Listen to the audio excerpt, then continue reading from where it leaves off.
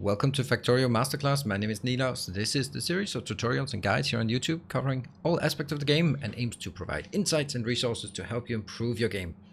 This is particularly important now that we have a Factorio launch and uh, lots of new people coming in. So I am taking this particular video to go through some of the keyboard shortcuts and some of the concepts that are that's kind of the things that we pick up over years of playing this game. But if you're new or maybe you just haven't explored so much, then maybe you don't know these tricks. And uh, therefore, I'm going to make this video what uh, a lot of these videos have become, or a lot of these shortcuts have become so ingrained for me that I don't simply do not remember the shortcuts. Therefore, as you can see in the lower right hand corner of the screen, I have taken an overlay that takes some of the most important keys on the keyboard as well as the mouse buttons so that you can see what I'm clicking. So when I say shift, but you can actually see that it, it's control that I hold down, then you will know that um, trust the keyboard, don't trust me.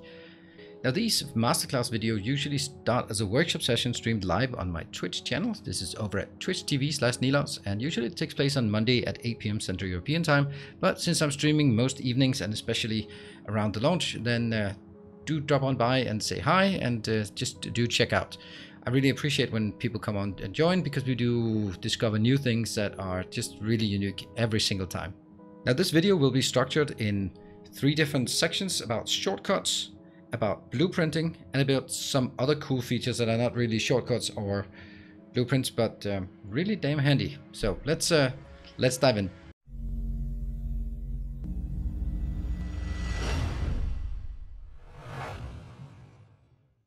Now let's start with some shortcuts. Uh, the first one we want to do is press Alt. There we go. You press it once and then you try not to press it again unless you alt tab out of the game because what it does is it changes the interface so that you can now see what every machine is making which is kind of obvious that you want to do that and also you can see what's in each box. So extremely handy and I would highly recommend always having this one on and don't change anything here.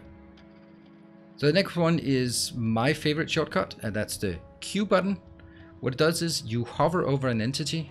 So you can see the one that's selected and press Q then you suddenly have it in hand this is super efficient if I want to build something because most of the time when you want to build something, you actually want to build something you've already built nearby.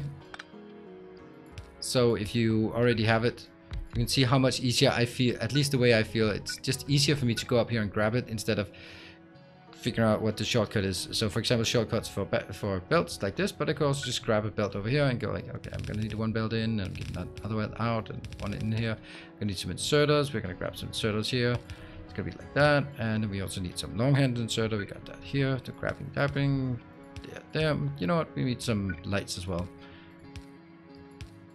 So I would highly recommend if you're not familiar with the Q button, the pipette function, get started on using it. It's going to make your life so much easier. It also minimizes your dependency on your shortcuts because over time you won't be able to have all the things you want on the shortcut menus. So uh, but you will most likely have the stuff you want to build nearby anyway. If you're building an outpost, then all the stuff you have for the outpost, you already have them nearby. If you want to extend the production line, you probably also have another production line next to it. Now let's talk about interaction with entities in, uh, in or items in chests. So we have a chest here. This is going to be our test chest. So basically, if you want to move things back and forth, you can grab a stack and you can put it in and you can put the stack back again. That's kind of the easiest way. You can also right click and then take half of stack, take it into your inventory and half of stack go back. All that pretty good. Now, but there is also other options and that is uh, we can we can pick up one stack by holding control. Uh, first of all, we need to make sure that they are one stacked. There we go.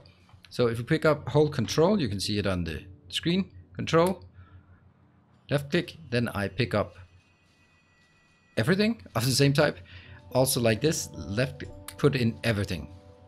If I want to pick up one stack, then I hold shift, pick up one stack, one stack, and put it back again. If that's with the right left hand mouse, and if I do the right hand mouse with shift held down, then I take half a stack and I can put half a stack back. You can also take half of a half stack. And once you get familiar with these things, it uh, it's it's difficult to say it, but you really get familiar with it and go, just go like, oh, okay, I think I need this on this one, but yeah, let's take half more. You can also, if you have a box with a lot of weird stuff in it, you can also control left click next to it and then you'll pick up everything that's in the in the location. And now my robots go crazy because they want to feed me all the stuff that I was just throwing away. So we got transfer one stack, transfer half stack, transfer all items, transfer half of all items. You can also control right click next to it, then we take half of everything that's in there. That's a really obscure function, but it, it could be useful. Let's talk about handcrafting because if you if if I like anything, then it's handcrafting. That's for sure. So let's just grab some stuff that we can use for handcrafting. Um, let's get some stuff here. There we go. Good handcrafting. If I want to craft one item, uh, yeah, I got lost in my own menu here. If you want to craft one item, you just click it. You can see down here in the left-hand corner, it, it creates. If you want to craft more items, there. If I hold shift, it creates every item. I can also click here, shift click, then it goes away. I can do control. I can't do control. No, no, no. I can do shift, shift left click, then it's everything. Shift right click, then it's Shift right, like right click doesn't do anything. Why did I write it down? It's left click to create one, right click to create five, shift left click to create all. And then we right click to get things out or sh shift left click. It's actually really strange. It's not very intuitive that it's uh, right click, right click to craft five, but shift left click to create all. It is what it is you get used to it. It's uh, it's just going to be muscle memory in no time. Now, something else I've noticed that in my uh, playthroughs, that some people usually, oh, how did you do that? Then uh, that's uh, dropping items. So if you have an item in hand, you can press the Z button or Z, depending on your nationality, and then you drop one on the ground. That kind of annoying, but you can also drop it on moving belts. So if you have something in the inventory and you just want to feed it back into the let's say you've got some blue circuits and you really want them back on the circulation, then you can just do this one. This is particularly uh, interesting when you're in the early part of the game. Let me see if I have anything that uh, can be used for this. Um, maybe I can just request it. I don't know if I have them. They should be coming. And the other part I can do is press F, hold down F key, and then run around, and then I'll pick up everything below me and sort of one tile around. I have just crafted some of these. Now, the usual part that I see a great usage for using the set button is in the beginning when you have some ore and you just put them in here. Hold down the Z key and then just move the mouse over. That means that it's a good way to fill up inventory. Or fill up uh, fill up furnaces in the early game. Yes, that's how it is. Now, another thing that I've seen way too many questions, and I know myself that I've uh, had that issue before. When you start making pavement, because why wouldn't you make pavement? Then you start with this little tiny box here, and you want to make it bigger. Now, the default keys is pressing plus and minus to increase the size of this uh, pressing the plus key to increase and minus key to decrease. This is a good intersection for me to go in and look at controls, the keyboard settings. There is a stupendous amount of uh, interactions here. They're super exhaustive and I'm I think it's really cool that everything is here. So for example, zoom in, zoom out, I got the mouse wheel, but let's see. I want to see if I can find this one because I remapped this one to my scroll wheel because I found it to be way easier. Hmm, yeah, as you can see there's a lot of things and I I don't even know all of them. Somewhere around here there is an option for increasing the tile size. It's plus and minus as default when you hold this in hand so you can increase it. But what I've done is I've remapped it so that I can do control and then scroll up and down on the mouse wheel. You can also see that visualized. I find that to be super easy when making, for example, path, then make sure that it fits. Because then I don't have to change my mouse cursor from uh, my mouse hand from my mouse and then press the numpad because it's kind of far away with the numpad. But that's all, of course, up to you. Now, the next section, we're going to talk about blueprinting. And um, this is where things are a bit weird because for some reason you don't have blueprinting in your very first game. So you only get access to blueprinting when you have researched robots. Mm, which one is it? That one. Uh, or maybe this one. It's one of these. Either it's robotics or it is robots. Then you will get access to blueprints. And once you have blueprints in one game, then you will have it unlocked in all games. But if for whatever reason you want this uh, in your first game, then there is a command, and it's it's kind of it doesn't um, it's it's a console command that you can execute called unlock shortcut bar. Boom. You can see down here we get this shortcut bar that gets unlocked, and all the things that you have available is uh, is now here, including the blueprints. Uh, this little box here is where you can add which ones you want to display. I am not, I don't want a lot of these because I'm not going to use them. I'm going to use the import string. I'm going to use the blueprint book.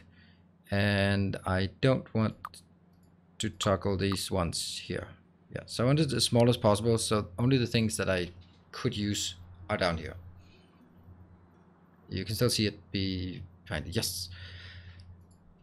So this is also a way that you can uh, get a blueprint. But when you have the blueprints available, either because you have researched the first time, then I'm not going to do an extensive thing on blueprinting because I think that's uh, warrants a bit more detail. Also, how you manage blueprints and blueprint books across games.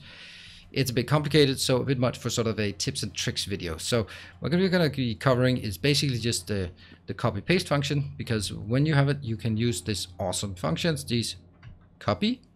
When you do Control C, then you get the copy function and you can see my cursor changed or I can do Control X for cut. That means it already it also moves it, but I'm going to do a copy. So I'm taking a copy, just dragging the mouse over here. That means I created a copy in hand and I can stamp down here and then robots will build it. If we have robots, of course. This is why it only enables when you have robots. So that's pretty damn awesome. But we can also do it with the Control X. So we remove things if I rather wanted it down here. So once you get used to those, it's super easy. Um, what you can also do is, uh, if you have a blueprint, or if you don't have anything and you press Control V as in paste, then you get the last blueprint you had so you can print it again. That means, for example, if I decided to take all this blueprint and, and I don't want to run around with this in my cursor, I can just press Q so it cleans it out. But when I remove to the location I want, I can press Ctrl V and then I can stamp it down if I feel so inclined. But if I wanted the other one, then I can, let's see if I can remember, Shift, scroll wheel, then I can get to the other blueprints and there's a queue of blueprints and it's pretty long. I think it's like 20 blueprints or something it stores, it remembers for you. So if you make a blueprint and then you want to get back to the one you made like a couple of, of uh, blueprints ago, then you can just scroll down and go, yes, I actually want that one here. But it gets better than that because if you make a mistake and it, that happens, then you can just press Ctrl Z and it removes it. Ctrl Z again or Z, and then it there's a really long list again of uh, undo commands, and it's really handy. However, if you undo something, you can't redo it and that sometimes become uh, problematic, I'd say. So I built this, then I go over here because there are some things that do not undo, uh, like wire conditions. If I, for whatever reason, remove that and go like, oh, that was a mistake, undo. Now what happened? Well, this didn't change.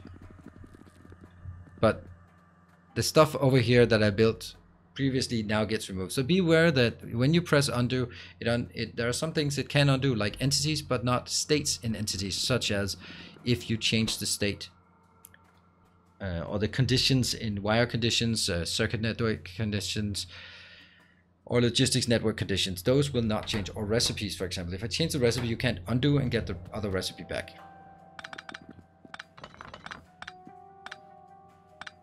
There. So that is copy, cut, paste, and undo. Sort of normal office uh, functions. That's uh, pretty damn handy, and uh, I would highly recommend getting used to using those because even if you don't have robots available, then it's just really nice when you build something and you can just lay out the foundation and say, all right, this is what I'm going to build. So using ghosts more efficiently, and we can just go into ghosts because ghosts are kind of related to our, I will just add this one so I can toggle my own. Now my robots are not working. So if I take this, if I place it, then it gets built. But if I hold shift while placing it, you can see that the cursor changes to a little ghost. Then it doesn't get placed, it just gets a place a ghost of it. And that means a robot will come in and place it. The reason why I disabled my own is because if I did it, then it would just go really quickly on putting it down there. And it's really handy sometimes to build with ghosts if you just want to get an idea about what's going on uh, or before you have robots just to lay out the foundation of okay this is where I want this build and it needs to be this big. I don't can't build it yet but I can at least sort of plan ahead for it. So that's how the ghosts work. Uh, ghosts are super easy to remove if I just remember to. You can just uh, right click them then they disappear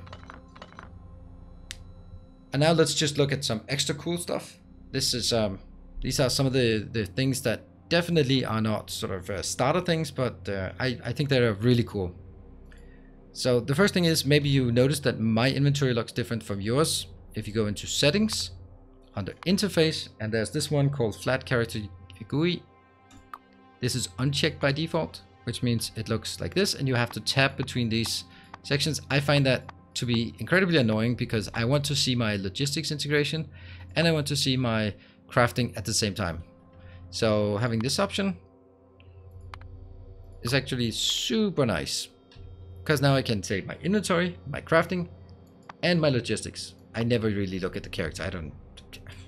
It is what it is, right? There. So that gives you, that's a little nice little trick here. Another trick, you can see that I have three hotbars. Maybe you only say you have two and you don't know what setting it is. then you also go in interface and active quick bars. Let's make it four. And now I have four active quick bars. There is a function here that you can have multiple out here. I have so far not really found a use for it that just warrants us actually doing it. What I've tried to use in this one is, is basically have, when I basically I have the first one being belts and then I could change it to be rails when I'm out there building rails. But it's, it's kind of a hypothetical use scenario. The reason why I only have three instead of using four is because when I have console commands, they overlap with the fourth line. That's why I only use three. And I often have console commands. Um, let's see. I'm going to remove this. Let's go back to this one. Active quick bars.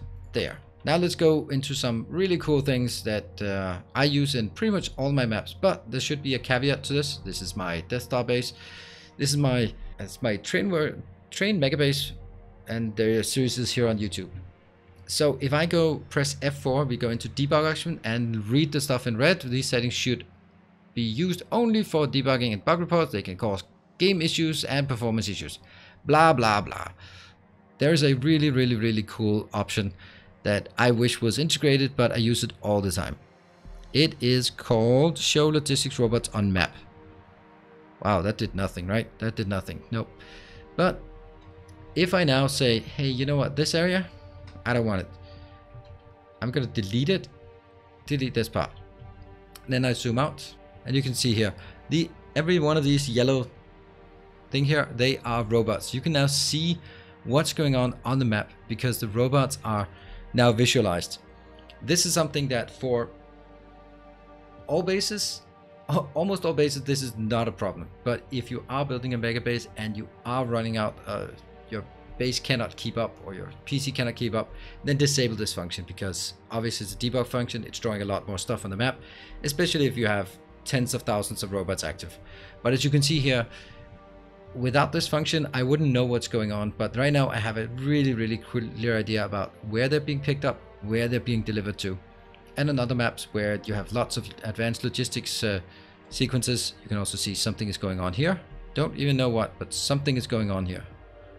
Uh, they're bringing some some lights back back to uh, to our storage back here. Just putting it back into storage. So that's one option. Another option that's probably not going to be uh, super good on this map, but it's actually really helpful if you're building trains, is another option over here. See if I can find it. Um, show rail signal states. Boom. If you're debugging trains and you want to make sure that get an idea about what's going on, it's so much easier to look at it from the map view. And you can see if we follow this train along, let's actually just follow it along like this, you can see how the signals are changing around this particular train. And hopefully maybe you can spot some errors in this, especially in a base like this, which has an obscene amount of signals. Then it's quite helpful if you want to visualize it. However, the same warning goes that if you're out here and you have this much, you're going to start tanking your performance by visualizing a lot more than you strictly need. So this warning do, uh, does apply you can use it for um, if you want to, but uh, be careful and don't use it. Uh, don't use it excessively. And if you have FPS uh, updates issues, then probably a good idea to take those out. But until then, I think it's a great uh, way to verify what you, what's going on and just also see the train network being a bit more active by having the signals change colors. And the last thing I want to uh, to show is that if you are if you've started the map and you're doing research and you don't have the research queue enabled, which means that if you click another one, then it actually chooses the other research instead. But you want to have that, then there's only really one way to do that, and that's uh, through a console command or restarting the game. Uh, the default option when creating the game is that after the game is complete, you get the research queue enabled. But if you really want the research queue enabled, and maybe you're watching one of my Let's Plays and seeing that I have it enabled, and you're wondering why, then it's because when you create the map, the default setting under the advanced tab is that it's only available after after the game is complete. But if you really want it, there is a console command like this. Slash C game player force research queue enabled true. However, this will disable Steam achievements. So use it with care. It's just if you got stuck and you really want it, then you can use this command and it um, it does nothing except enable the reset queue. And that's basically some of the cool things that I wanted to illustrate in this uh, this playthrough or this uh, tutorial. I think that uh, these are just some of the cool things that I hear a lot of comments on my YouTube videos, like how did you get multiple uh, multiple hotbars? How do you show uh, robots on map? Uh, how did you copy paste this much? Those are some of the things, so that's why I've summarized in this video. I hope it's useful and helpful to you as we're going into the new 1.0 release. So if you like these kind of videos, be sure to hit the like button, subscribe to the channel for more content like this. If you want to support the channel, there's a Patreon link, but there's of course no obligation. If you want to hang out, uh, especially during the launch or any other time, then I'm streaming lots and lots of Factorio over on Twitch. The address is twitch.tv slash Nilaus, and I hope to see you there. Thank you very much for watching, and until next time, stay effective.